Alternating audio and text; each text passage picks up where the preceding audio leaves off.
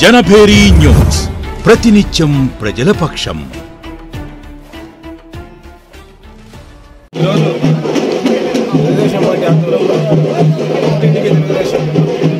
Party కార్యక్రమంలో భాగంగా ఈరోజు కలంగా నియోజకవర్గం శ్రీకోట మండలంలో గోరుమాకలపల్లి మొట్టమొదటి ఈ కార్యక్రమం చేపట్టింది ప్రధానంగా ఈ కార్యక్రమం ముఖ్య ఉద్దేశం ఏంటంటే గతంలో తెలుగుదేశం పార్టీ అధికారంలో ఉన్నప్పుడు అమర్నాథ్ రెడ్డి గారు మంత్రిగా పనిచేసిన ఆ రెండున్నర సంవత్సరంలో చేసిన అభివృద్ధి కార్యక్రమాన్ని చేపట్టిన అభివృద్ధి కార్యక్రమాన్ని ప్రజలకు తెలియజేస్తూ అదేవిధంగా రేపు పొద్దున తెలుగుదేశం పార్టీకి మళ్ళా మీరు అధికారం అనేది ఇస్తే మేము ఏం చేస్తామని కూడా ఒక కార్యక్రమం తెలియజేసుకుంటూ అదేవిధంగా ఈ ప్రభుత్వం అనుసరిస్తున్న ప్రజా వ్యతిరేక విధానాల గురించి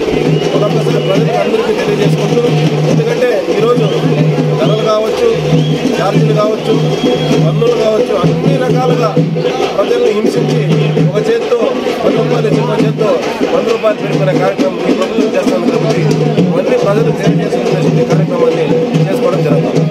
అదే ఉద్దేశంతో ఈ ప్రోగ్రామ్ చేస్తా ఉంటే ప్రజల నుంచి స్పందన ఎలా ఉంది మొట్టమొదటి ఈ రోజే కదా కార్యక్రమం. ప్రజలైతే బ్రహ్మాండంగా మీ స్పందన అయితే మీకే తెలుస్తాను ఎందుకంటే గతంలో ఆయన మంత్రిగా పనిచేసినప్పుడు కూడా భారీ ఎత్తున ప్రజలు కానీ కార్యక్రమం స్వచ్ఛంగా పాల్గొనలేదు బ్రహ్మాండంగా దాదాపు రెండు వేల మంది కార్యక్రమాన్ని స్టార్ట్ చేసిన కాబట్టి అప్పుడు ప్రజాస్పందన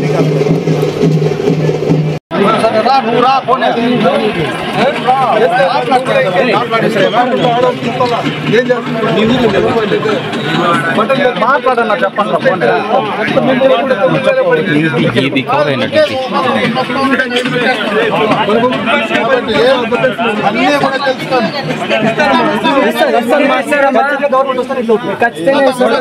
కొంతమందికి అయినాయి కదా ఈసారి చేయిస్తా ఇచ్చిన పీర్లో కూడా పెట్టుకోలేదు సార్ మేము పెట్టుకున్నాం కట్టుకో ఈసారి నేను చేయిస్తా కట్టుకో. సరేనా? నువ్వు గట్టిగా అందరికి చెప్పి చేయించు ముకుమార్ రాజా?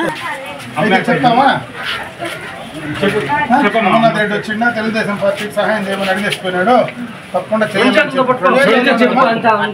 ఏం చదువుతున్నావు ఎక్కడ? నలందనా? బాగా చదువు?